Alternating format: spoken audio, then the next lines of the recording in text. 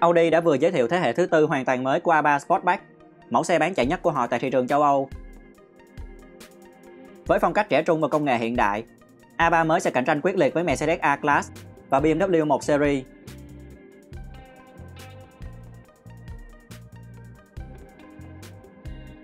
A3 2021 được thừa hưởng những yếu tố thiết kế mới nhất hiện nay của Audi. Lưới tản nhiệt single frame hình lục giác rộng và sắc hơn, với bề mặt dạng lưới tổ ong.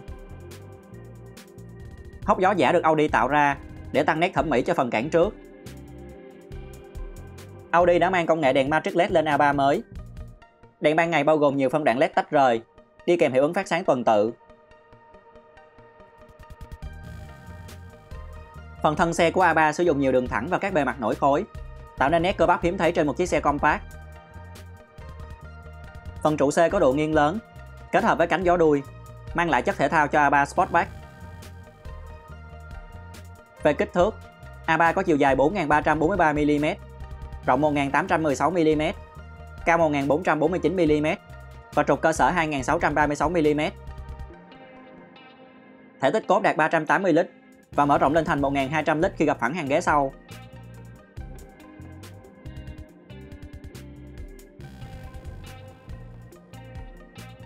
Sự trẻ trung tiếp tục được nhìn thấy trong khoang nội thất của A3 mới. Những đường thẳng dứt khoát được sử dụng rất nhiều cho mặt táp lô, bệ điều khiển trung tâm và ốp cửa. Thậm chí hai cửa gió điều hòa và cụm đồng hồ điều khiển còn mang phong cách của chiếc Lamborghini Urus.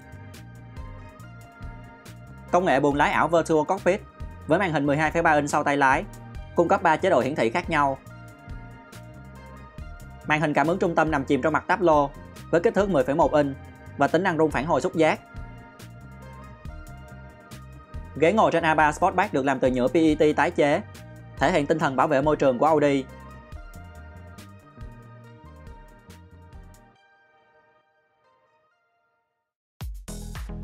Audi hiện đang cung cấp cho A3 mới 3 phiên bản động cơ khác nhau tại châu Âu.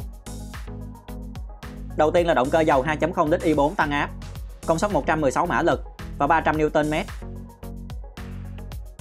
Mạnh mẽ hơn là động cơ dầu 2.0 lít i4 tăng áp, nhưng cho ra công suất 150 mã lực và 360 Nm.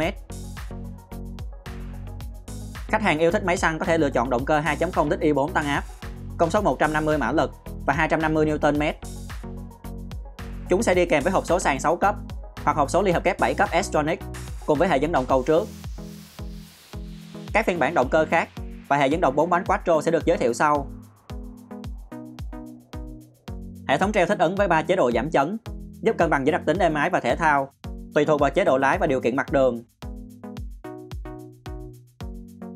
Hệ thống lái trợ lực điện biến thiên theo tốc độ được tinh chỉnh lại, kết hợp với tính năng Wheel Selective Torque Control, hứa hẹn sẽ mang lại khả năng lái nhanh nhẹn và chính xác hơn. Những tính năng hỗ trợ lái hiện đại cũng được trang bị trên A3 mới, điển hình như ngăn ngừa va chạm phía trước, cảnh báo chạch làng, hỗ trợ chuyển làng, hỗ trợ ra khỏi xe an toàn, đổ xe tự động, kiểm soát hành trình chủ động bằng cách duy trì khoảng cách và tốc độ, cũng như đánh lái can thiệp, vân vân. A3 2021 sẽ được giao cho khách hàng tại châu Âu vào đầu tháng 5. Phiên bản 1.5 TFSI sẽ có giá khởi điểm từ 28.900 euro, tương đương 747 triệu đồng